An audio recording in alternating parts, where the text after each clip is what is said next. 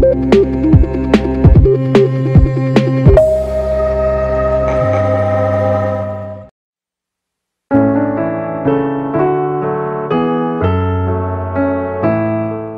di Kabupaten Kulon Progo, daerah istimewa Yogyakarta, harus mengalami nasib pilu di umurnya yang masih 8 tahun.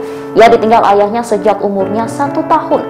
Bahkan kini ia harus merawat sang ibu yang mengalami kelumpuhan sejak tahun 2020 lalu. Bocah 8 tahun itu diketahui bernama Muhammad Wahid.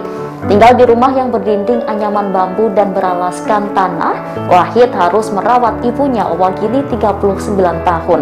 Ia juga tinggal bersama kakaknya Iwan Nursalam 13 tahun dan kakeknya yang berusia 89 tahun. Akan tetapi kakaknya jarang pulang lantaran harus bekerja ikut tetangganya memetik kelapa. Bahkan mirisnya sang kakak putus sekolah sejak di kelas 7 sekolah menengah pertama atau SMP. Oleh karena itu Wahid yang harus merawat ibunya seorang diri. Diungkapkan Wagini, anak bungsunya itu tak sempat bermain bersama teman-teman seusianya sebab Wahid harus mengerjakan pekerjaan rumah sepulang dari sekolah. Tanya itu, Wahid juga membantu kakeknya mencari rumput dan kayu. Adapun untuk makan sehari-hari, mereka mengandalkan sayuran yang ditanam di kebun di sekitar rumah mereka. Saat ini Wahid duduk di bangku kelas 2 SDN Sambiroto.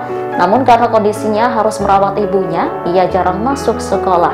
Sehingga gurunya lah yang datang ke rumah Wahid untuk mengajar dan mengantarkan tugas-tugas sekolah. Kedati demikian, bocah yang suka pelajaran berhitung ini memiliki sebuah cita-cita. Awalnya ia bercita-cita ingin menjadi dokter agar bisa merawat sang ibu. Lantaran dirinya jarang masuk sekolah, cita-citanya berubah ingin menjadi kontraktor. Cita-citanya itu bukan tanpa alasan. Wahid ingin membangun banyak rumah dan uangnya nanti bisa digunakan untuk biaya berobat sang ibu.